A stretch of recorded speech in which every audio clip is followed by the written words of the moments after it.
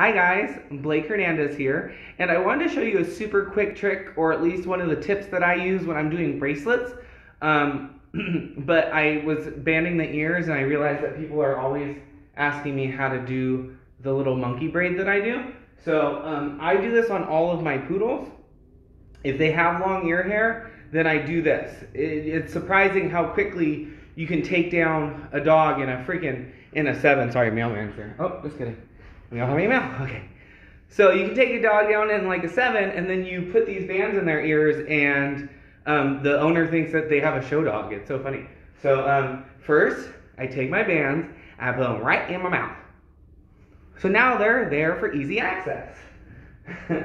um, this dog actually, it's just their second appointment with me. I set the pattern on them last time. It was only three weeks ago. So anyway, um, on the ear, you know, their ear is shaped like a triangle, right? So I take the front of their ear leather right here, and I just take a rat tail comb, something pointy, and about halfway across the width of the ear, I draw a point down towards the front of the ear leather.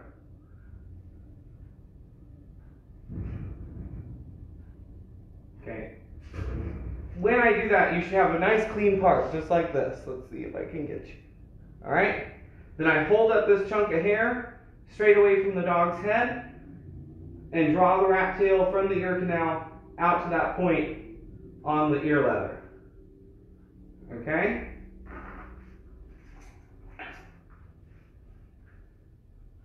Combing it out.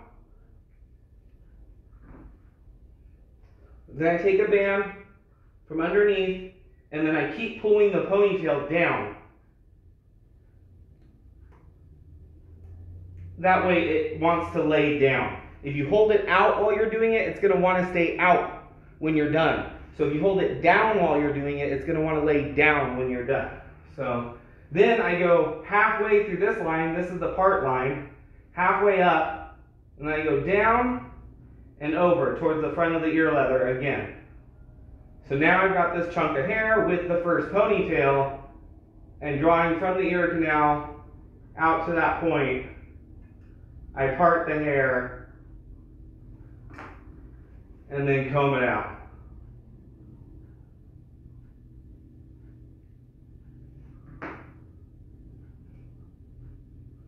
Get you a band from your mouth dispenser.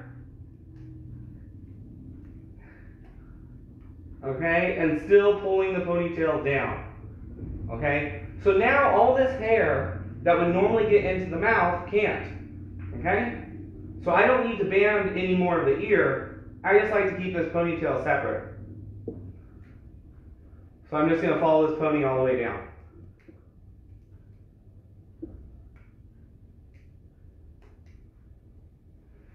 Whoever the last groomer was, like, ripped a big mat, like, right out of the center of her head. So there's, like, a big, like, divot in the middle of her head. Ignore that. I'm ignoring it. You have to ignore it. Okay, so now the ears are banded. No, no, no, no, stand there. but we have this bracelet right here. So you're going to do your bevels like you normally do bevels on the bottom. But a big problem that I see with people when they do their bracelets is that it looks like a nice pretty bevel on the bottom, and then you've got a nice little bracelet, and then they've got flat up here. Like they don't know what to do with up here. It looks like a toilet paper roll. And that's wrong.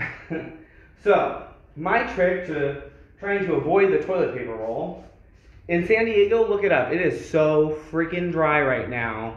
Gas or Cusco looks like he sprayed it up and there's no hairspray in him. It's just that much static. But anyway, I put a little bit uh, Magic Blue scissoring spray in, and I'm just gonna drag everything up. So once I drag everything up, I take a nice um, scissor with a pretty decent curve and I point that scissor towards the bone, creating a bevel on the top of your bracelet that matches the bracelet or the bevel on the top. Sorry, match the bevel on the top of your bracelet so that it's the same as the one on bottom. So I work around the dog because you know what's going to happen is if you, I'll show you what I normally see. What I normally see is I see people who are trying to do this and like bevel like that, but see where my blade is? So that all that hair underneath that blade doesn't get cut. So you have to use a nice pointy scissor that's a little bit thinner for finishing with a pretty severe curve. And then always point towards the bone.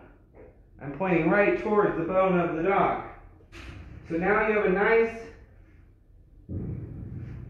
bevel up top. Once I've gotten that shape, then you can kind of stress as much as you want to stress. You know, do you want to take 30 minutes for a bracelet or do you want to take 5 minutes for a bracelet? Well, I guess that depends on how much the client's paying you.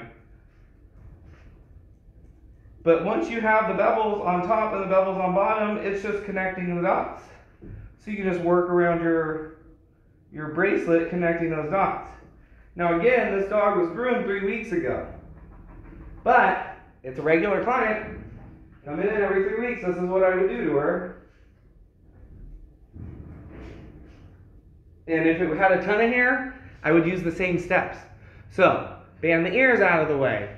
And don't leave yourself a toilet paper roll, okay? If you not, don't have much more time for finish work, you always take a curved chunker, you have the basic shape, and just take off anything that doesn't make sense. And wipe right over your dog. I call it wiping. You just wipe them off. Okay? And scene.